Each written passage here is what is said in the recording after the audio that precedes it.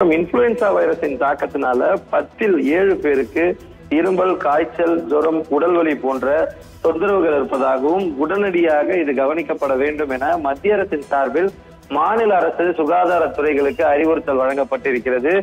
சுமார் ஏழு நாட்கள் வரை இந்த வைரஸின் காய்ச்சல் த- தொற்று காரணமாக பாதிக்கப்பட்டவர்கள் தனிமைப்படுத்திக் கொள்ள வேண்டும் உள்ளிட்ட பல்வேறு வழிகாட்டு நெறிமுறைகள் வகுக்கப்பட்டிருக்கக்கூடிய சூழ்நிலையில தமிழகத்துக்கு அண்டை மாவட்டமாக யூனியன் பிரதேசமாக இருக்கக்கூடிய புதுவையில வைரஸ் காய்ச்சல் எதிரொலியாக நாளை முதல் இருபத்தி ஆறாம் தேதி வரை ஒன்று முதல் எட்டாம் வகுப்பு உள்ள அரசு மற்றும் தனியார் பள்ளிகளுக்கு விடுமுறை வகுக்கப்பட்டிருக்கிறது.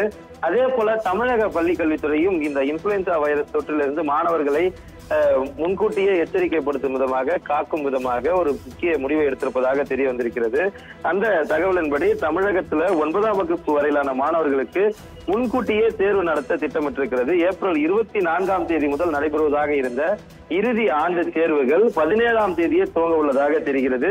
ஏப்ரல் இருபத்தி நான்காம் தேதிக்குள் முப்பதாம் தேதி வரை மட்டுமே தேர்வுகளை நடத்த அட்டவணை வெளியிடப்பட்டிருக்கிறது. தற்போது முன்கூட்டியே ஏப்ரல் பதினேழில் துவங்கி இருபத்தி நான்காம் தேதி முடிப்பதற்கு திட்டமிடப்பட்டிருக்கிறது. கூடுதல் விவரங்களுக்கு நன்றி மணிகண்டன்.